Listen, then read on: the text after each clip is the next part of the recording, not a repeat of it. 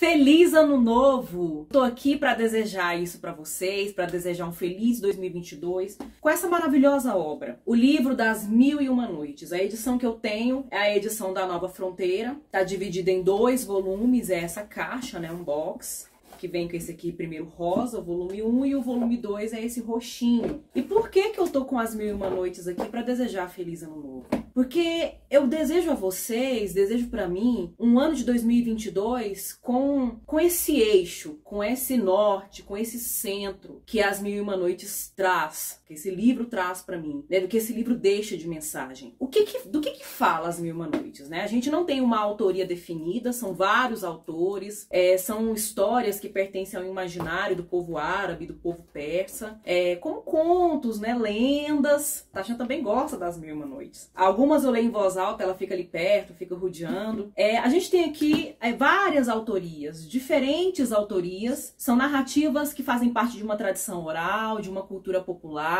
São histórias que foram contadas, né? De, de, entre povos, entre diferentes gerações. A gente tem, inclusive, conhecimento de algumas dessas histórias, né? Aqui são várias narrativas que a gente tem, de certo modo, justapostas. Elas são encaixadas, né? Uma história continua na outra, uma história pega, pega o gancho da anterior, né? Existe uma relação de encadeamento entre essas, essas histórias que são contadas aqui, que são contadas por essa jovem Sherazade. O que que acontece aqui para chegar a esse ponto de contar essas histórias? O que que acontece? Você também quer saber, não quer, Tachan? Nós temos dois irmãos que são reis.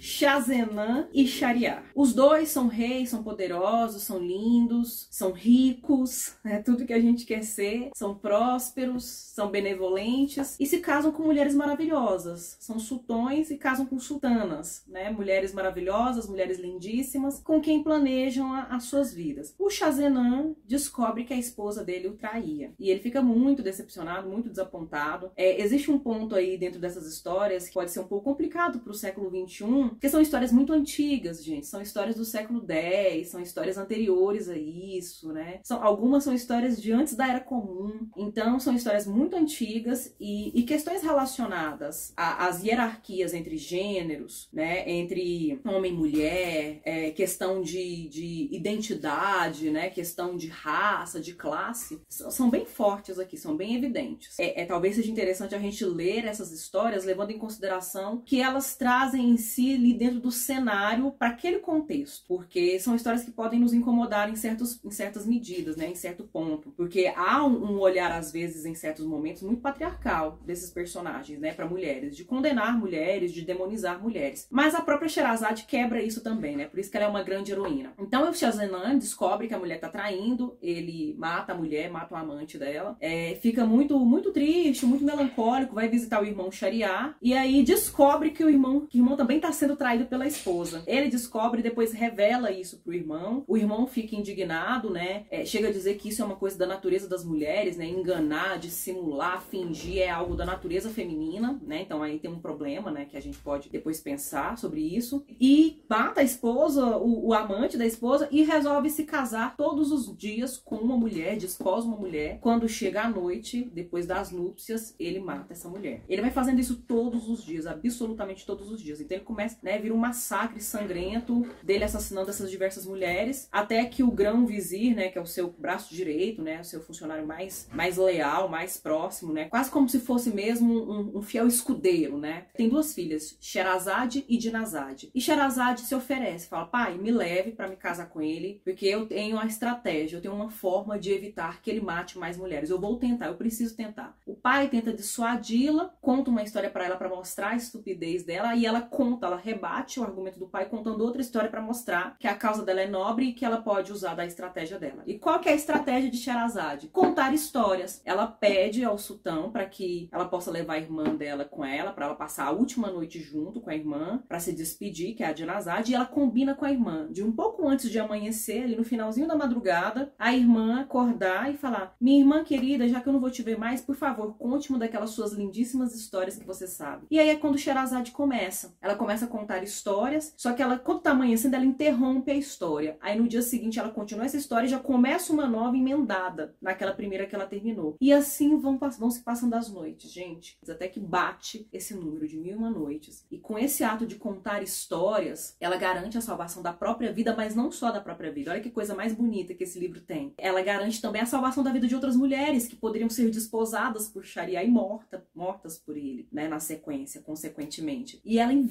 impede isso, porque no, no decorrer dessas mil e uma noites, a ira dele, a raiva dele vai sendo aplacada, vai sendo amenizada por aquela beleza de histórias que ela conta. E dentre essas várias histórias que ela conta, a história do Simba, o marinheiro, a história do, do Aladim e o tapete, e o tapete mágico, né? A história, a, diversas histórias, né? Histórias muito conhecidas, histórias muito famosas que fazem parte do nosso imaginário, muitas adaptadas em animação para o cinema. É, a gente muitas vezes não sabia de onde vinham e elas estão aqui. Elas estão aqui no, no livro das Mil e Uma Noites.